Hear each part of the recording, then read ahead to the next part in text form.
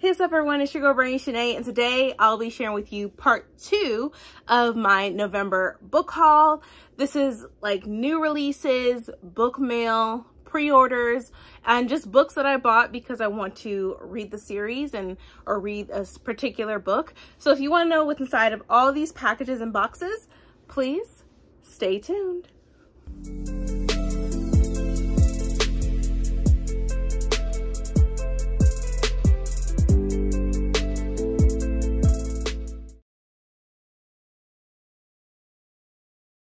And I am back. So like I said before, this is going to be November book haul part two.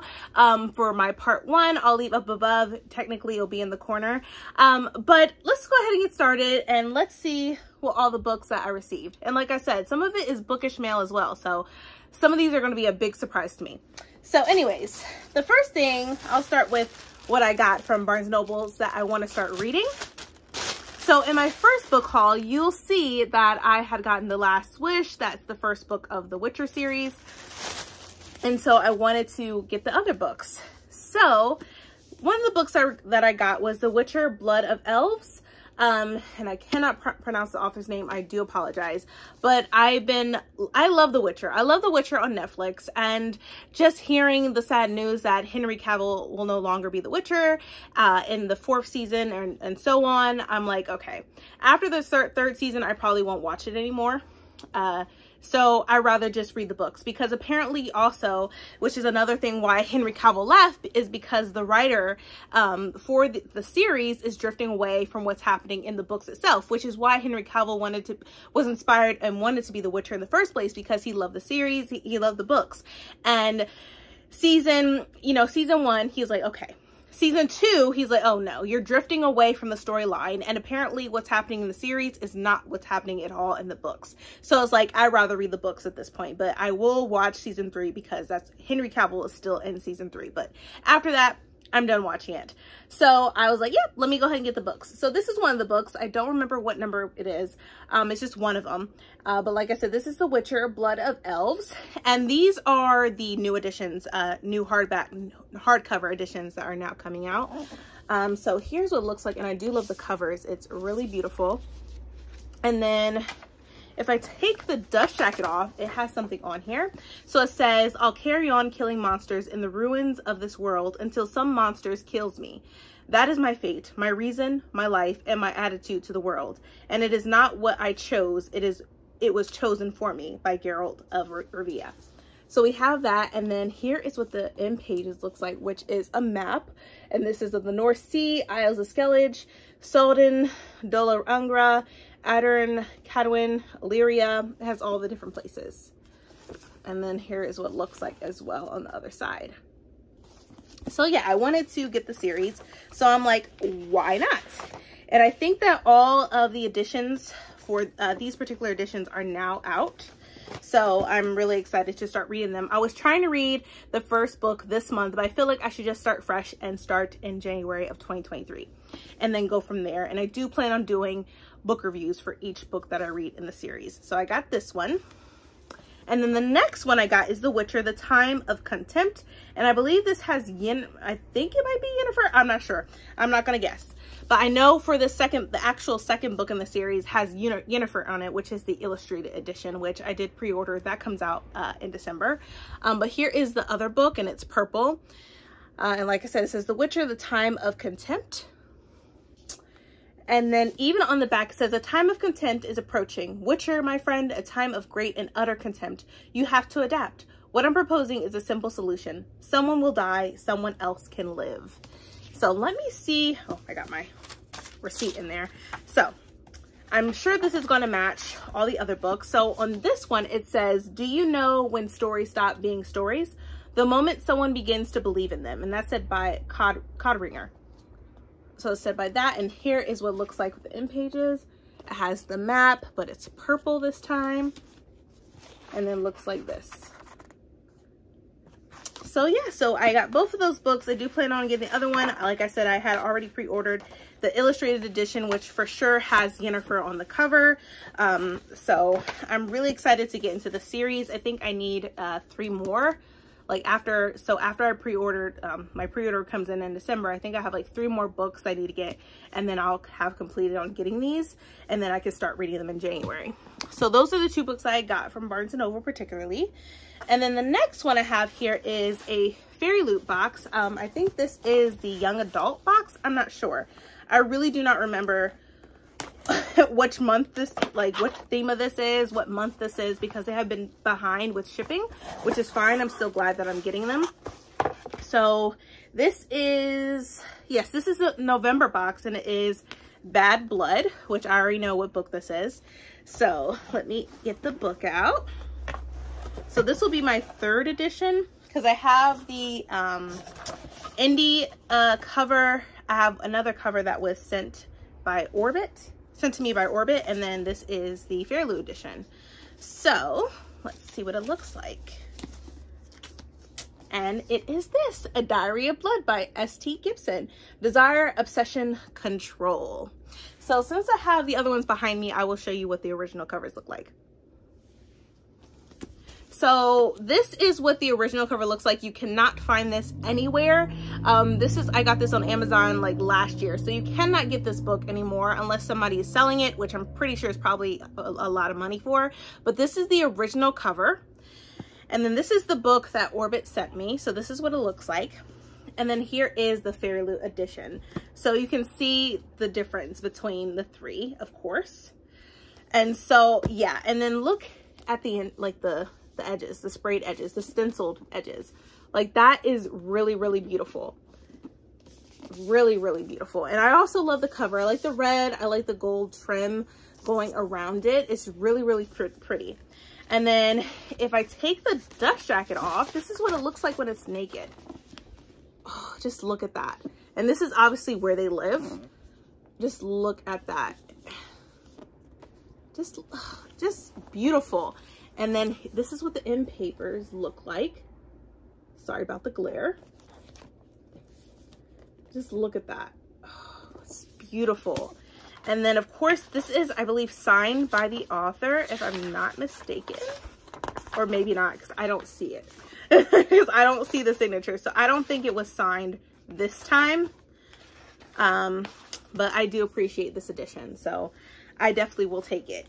And then let me, if you haven't read this book, um, I will also read the synopsis for you as well. So it says, this is my last love letter to you, though some would call it a confession. Saved from the brink of death by a mysterious stranger, Constanta is transformed from a medieval medieval peasant into a bride fit for an undying king. But when Dracula draws a cunning aristocrat and a starving artist into his web of passion and deceit, Constanta realizes that her beloved is capable of terrible things. Finding comfort in the arms of her rival consorts, she begins to unravel their husband's dark secrets. With the lives of everyone she loves on the line, Constanta will have to choose between her own freedom and her love for her husband. But bonds forged by blood can only be broken by death. And it says, uh, S.T. Gibson's sensational novel is the darkly seductive tale of Dracula's first bride, bride Constanta so here we are. I just i'm glad. So i have three editions so i will take it. I will definitely take it and having three editions for these. And then even for the spoiler card it says our feature book of the month is a dowry of blood by st gibson. A dowry of blood is a delicious and rich dracula retelling. Our heroine constanta is saved by a mysterious and charming stranger who makes her his wife. As with all these foul however charm fades eventually and she realizes her beloved might be more wicked than she ever imagined. And then it says, your Fairy exclusive edition come, comes with an exclusive cover, digital sprayed edges, artwork on the hardback, and in papers. And there is also an afterword printed at the end. So there is an afterword. So that's that's neat to have that afterward. Uh, let's see if I can find it. Hmm yep, there's an afterward right here. So yeah, definitely cannot wait. After this is, I will always reread this. It's so good. So if you haven't picked it up, I suggest you do, do so because you are missing out. So that is my little fairy, fairy loot unboxing for November called Bad Blood. So there is that box. Next package is from Abrams, The Art of Books. I don't know what it is, but I'm gonna open it. Let's see. Oh, okay. Okay, so this is for the book that I have. It's called Lark and Kasim, um, Start a Revolution. This is by Kacen Callender. And so I uh, sent in my receipt and I was able to get this. So here is a little thing where I could put my pencils in. And it says, speak your truth, love yourself, start your own revolution. And this is by Lark and Kasim, Start a Revolution by Kacen Callender. So there is that. So cannot wait to put in my whatever, my markers, pencils, pens, whatever can go in here. So that's perfect. Next thing is from Macmillan. So let's open this one.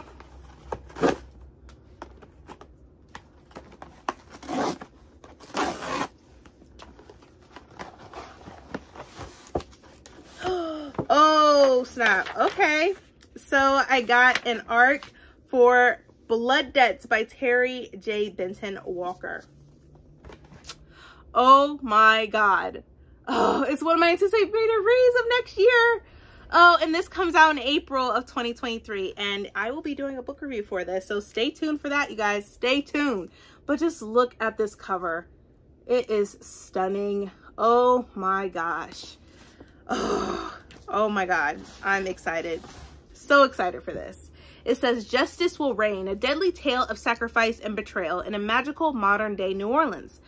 30 years after the greatest magical massacre in their city's history, the rightful heirs of a stolen throne set out to right the wrongs in their family's past and bring about the justice they're owed. Oh my God. Yes. Yes. I'm here for it. I'm here for it. Uh, and it says, Dear reviewer, Tor Teen is thrilled to present the highly anticipated release of Blood Debts, which is on sale April 4th of 2023. And it says, Blood Debts opens with a young woman murdered, a family lynched, and a throne stolen. On the anniversary of these brutal events, Clement and Christina Trudeau, the 16-year-old's twin heirs to the powerful, magical, dethroned family, are mourning their father and caring for their sick mother, until by chance they discover their mother isn't sick. She's cursed. Cursed by someone on the very magic council their family used to rule, someone who will come for them next. And then it says, Christina and Clement used to be each other's most trusted confidant and friend. Now they barely speak, but if they have any hope of discovering who is coming after their family, they'll have to find a way to trust each other and their family's magic, all while solving the decades-old murder that sparked the still rising tensions between city's magical and non-magical communities. And if they don't succeed, New Orleans may see another massacre, or worse. So, oh, this sounds really, really good and it's a, it's considered a unique YA contemporary fantasy that is sure to appeal to fans of American Horror Story, Covenant, and Game of Thrones. So I'm definitely looking forward for this. And it says, with a fresh take on a unique magic system and a story that centers black and black LGBT, LGBTQ plus characters. I'm here for it. I'm here for it. Thank you so much. I cannot wait to read this. okay. Oh my, yep. Gonna be reading this right away. So I got that, was not expecting that. So that's cool and that's perfect. Okay, the next thing I have here is also from Macmillan. It says Macmillan Universal. So let's see what's in here. I'm thinking it's a poster from how like flat this, this little package is. So let's give it a try in here and see what's in it. Oh, wow. Okay, so this is a poster for um uh by uh for Marissa Meyer. Because she just released Cursed, Cursed, excuse me. And then here is the poster with all the characters. So I have this. This is really cool. I need to get a frame for them. So I'm to stick this back in the box. So that way it stays flat and not all like, uh, you know, scrunched up somewhere. So let me put this back in there if I can. There we go. All right, I'm gonna put it right um, somewhere. I usually put my posters right here, so I'll put it right there. Okay, next thing. Um, okay, I'll pick this package. and this is a pre-order. So this is from Barnes & Noble.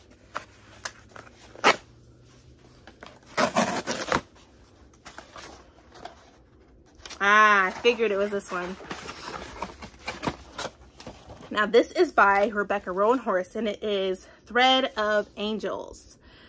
So this just came out recently, so I'm really excited to read this. So with the synopsis, I'll gladly read. It's high in the remote mountains, remote mountains, the town of Goetia is is booming as prospectors from near and far come to mine the powerful new element divinity.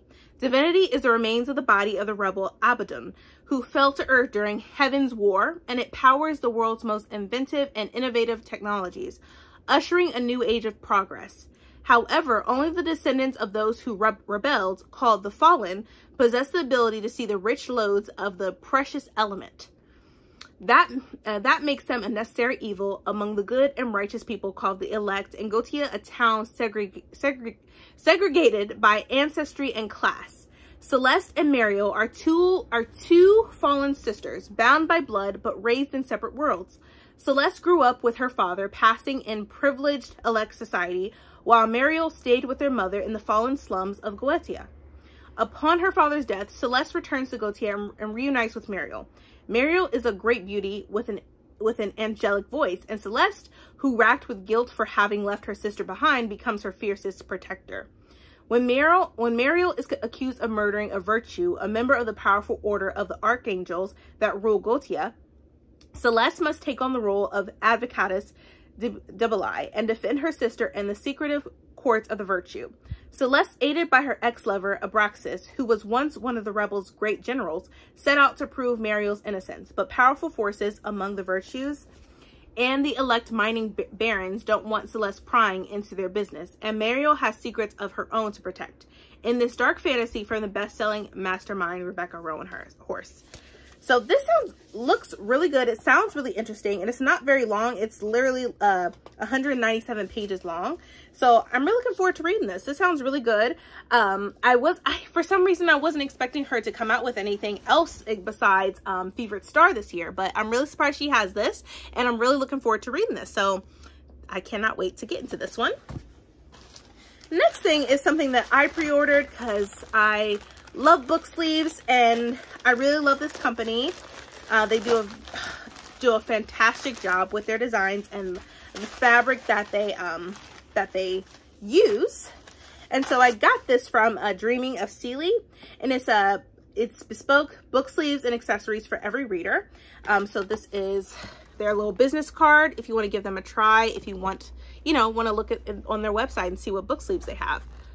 So there's that. And then on back says, Brandie, thank you for your order.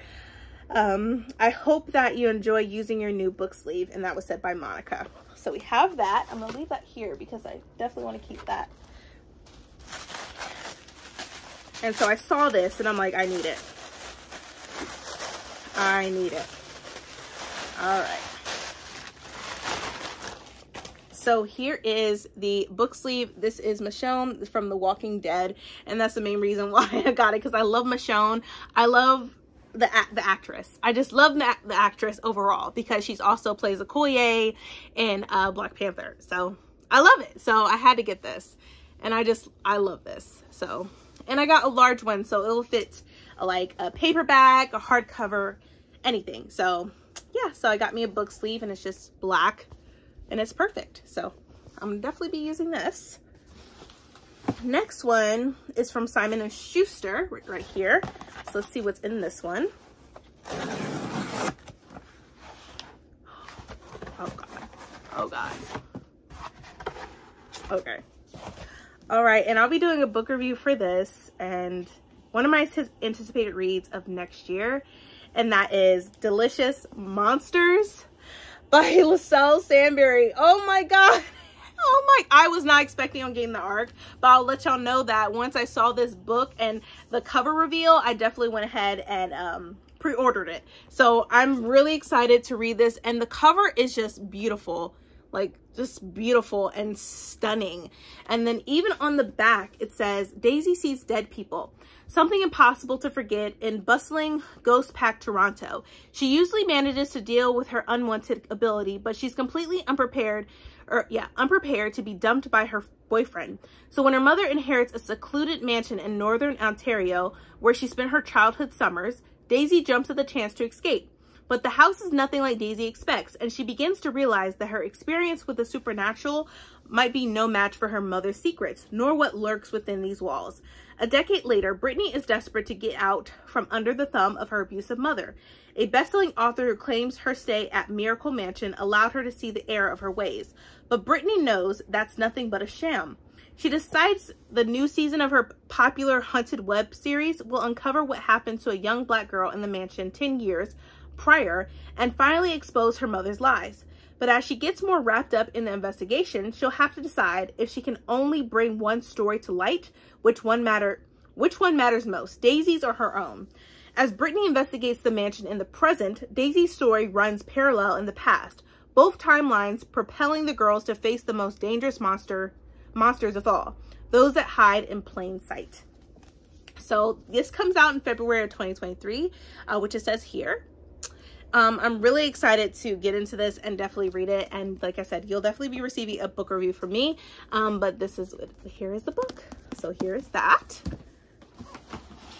Next one is from Simon & Schuster. So let's get it. Let's see what's in this one.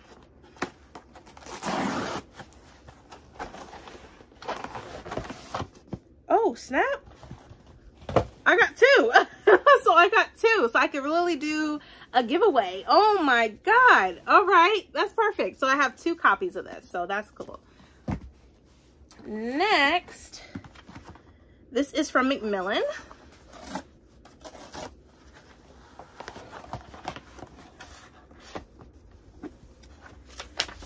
Oh, wow. Oh, God. Yep, another giveaway. another giveaway. I got Blood Debts. So literally I have two copies of Blood Debts and of Delicious Monsters. So there'll probably be a giveaway probably coming your way really soon. So I got two of these. That.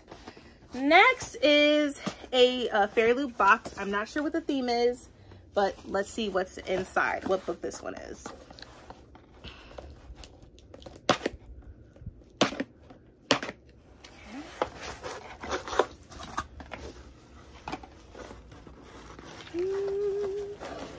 Don't see the spoiler card in here, so they might have forgotten.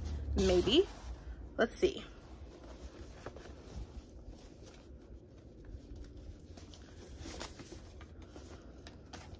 Ah, it's in here. Okay, so the spoiler card, this is October. This is October book of, and the theme was dystopia, which is right here. And then here is the book by Veronica Roth, Poster Girl. This is the Loot edition, and on the back it says, A Fallen Regime, A Missing Child, A Change at Freedom. And then here are the stenciled sprayed edges, which is really beautiful. And then if I take the dust jacket off, this is what it looks like. It says, what's right is right. So there's that. And then also here's what the end pages look like, the end papers. So like that. And then on the other side, looks like this. So let me see what this is about. I really, I've seen um, the other editions of this book, you know, the, with the regular cover. Um, and I'm like, what is this about? I'm, I'm really interested to find out. So let me see. Let's read the synopsis. So it says, what's right is right. Sonia Cantor knows this slogan. She lived by it for most of her life. For decades, everyone in the Seattle-Portland megalopolis lived under it, as well as a constant surveillance in the form of the Insight, an ocular implant that tracked every word and every action rewarding or punishing by a rigid moral code set forth by the delegation. Then there was a revolution. The delegation fell. Its most valuable members were locked in the aperture, a prison on the outskirts of the city, and everyone else, now free from the Insight's monitoring, monitoring went on their went with their lives. Or excuse me, went on with their lives. Sonia, former poster girl for the delegation, has been in prison for 10 years when an old enemy comes to her with a deal. Find a missing girl who was stolen from her parents by the old regime and earn her freedom.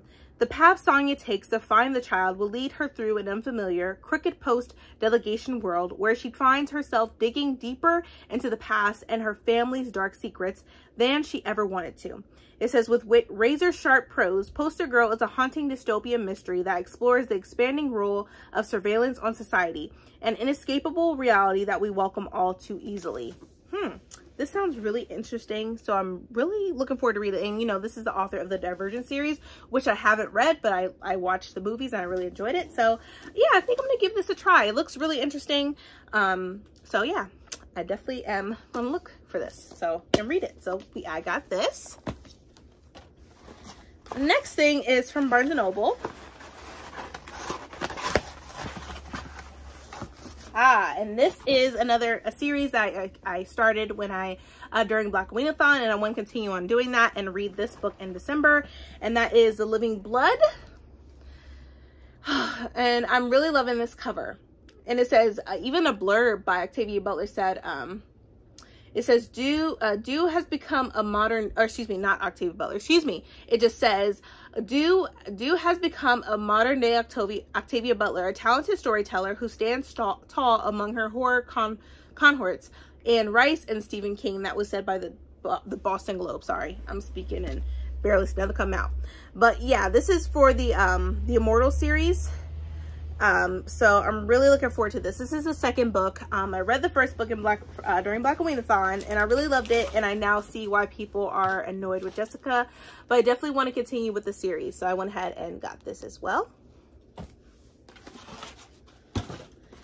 Next one, let's see what's in here. This is from Hachette's book book group. Ah, and this is before I Let Go by Kennedy Ryan. All right. I think I have another one. I thought I had a copy. Maybe I didn't. But here it is. And I do love this cover so, so much. And I want to read more romance books next year as well. So I have a lot of goals that I'm giving myself for next year. Um, but yeah, I received this. This is a finished copy and it looks really, really good. Even on the back it says, their love was supposed to last forever, but when life delivered blow after devastating blow, Yasmin and Josiah Wade found that love alone couldn't solve or save everything. It couldn't save their marriage. Jasmine wasn't prepared for how her life fell apart, but she's finally starting to find joy again. She and Josiah have found a new rhythm, co-parenting their two kids and running a thriving business together. Yet, like magnets, they're always drawn back to each other, and now they're beginning to wonder if they're truly ready to let go of everything they once had. Soon, one stolen kiss leads to another and then more. It's hot, it's illicit, it's all good until old wounds reopen. It is too late for them to find forever, or could they even be better the second time around? So this sounds really good and really interesting. Um, and I'm, I'm looking forward to reading it. And I, yeah, just love this cover. It's beautiful. So I'll be getting reading that some, sometime next year. I'm trying to set a goal for myself. Um, and, you know, read a lot of books I want to read and get to and try to uh, broaden my horizons. Like I'm definitely another goal is to read more nonfiction next year as well, which I want to read a nonfiction, at least one book each month. So that's another goal that I'm putting, uh, setting myself for. So yeah, a lot of goals that has to be met next year, which I don't mind. I like setting goals for myself. I think it's good to do that, you know? The next book is from Barnes & Noble and I had I ordered this because I love this the series. Um, this is a manga. This is the third uh, manga for the series and that is A Galaxy Next Door. This is the third volume. And yeah, I really, man, I've been going through manga like crazy this month. And, you know, I, and ever since like um, Ashley from the Bookish Realm like uh, told me about this series, I've been addicted. I have been addicted. And even like this new series that I found out that um uh Shay uh, had did a book review for or a, review, a review for for a certain manga, I'm like, okay, I want to read this series too. So and even Izzy with her recommendations, man. But yeah, so yeah, I'm I'm getting addicted to manga. I need to chill out. Um, but yeah, this is the third volume. It says, um, on the outside, Ichiro and Sayuri are the perfect couple, with a comfortable, blossoming relationship that seems to be heading towards marriage. In reality, they are hindered by a mysterious engagement pact, which has the power to, to inflict one-sided retribution upon Ichiro whenever Sayuri feels upset. Having caught wind of the situation, Sayuri's parents show up out of the blue to confront them, determined to separate the couple and bring their daughter back to the island. Ichiro and Sayuri will have to stand together to brave her parents' disapproval. Although, could this finally mean a solution to annulling the pact? And it even says a sweet, a sweet story of first love from the creator of the hit manga and anime Sweetness and Lightning.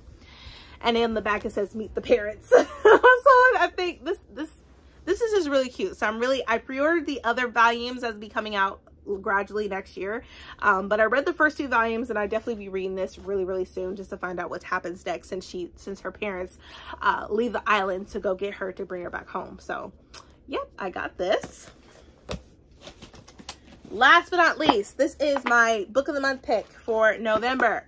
So I'm definitely going to open this. This was something that I wanted to read this month, but I doubt I'll get to. So I'm going to try to read it in December. So literally, I'm going to be very selective on what I read next month. Um, and I already have in my head what I really want to read and what I want to get to. So my pick was Someday Maybe. This is by Anyi Nwabineli. I'm sorry if I'm not saying the author's name right. I do apologize. Um, but this cover is mostly what got me. And then the storyline what got me right after I saw this cover. Uh, so let me go ahead and read the synopsis. And like I said, this is the book of the month pick that I chose for November. And so it says, here are the three things you should know about my husband. One, he was the great love of my life, despite his penchant for going um, incommunicado. Two, he was, as far as I and everyone else could tell, a perfectly was perfectly happy, which is significant because three, on New Year's Eve, he killed himself. Wow. And here is one thing you should know about me. One, I found him. And bonus fact, no, I am not okay. It says Someday Maybe is a stunning and witty debut novel about a young woman's emotional journey through unimaginable loss. Pulled along by her tight-knit Nigerian family, a, po posse of new friends, and the love and laughter she shared with her husband. Wow. Yeah. This is going to be a deep read, but I'm really looking forward to reading this. And like I said, I wanted to read this this month, but I don't know if I'm going to get get to it in time. Maybe I can. I'm not going to sell myself too short. Uh, maybe I can get through it, but this really sounds good um, and really heartbreaking, but it, obviously she's finding a way to cope and and to grieve, have your moment of grief and, you know, try to live day by day and see how it goes. So I can't imagine like losing my husband and stuff, especially with, you know, with him killing himself. Like that i can't imagine that. And i can't imagine what i would like how i would feel.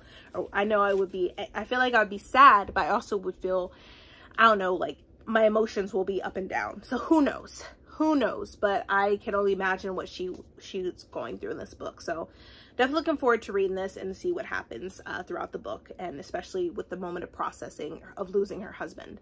Um but yeah. That is it and I promise that is it. Those are all the books uh, and li little things that I received in the mail. Um, I really hope you enjoyed this video. Um, if you did, please, please, please give me a thumbs up. Also hit that subscribe button and that bell to be notified when I upload more videos in the future.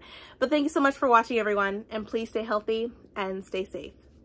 See ya.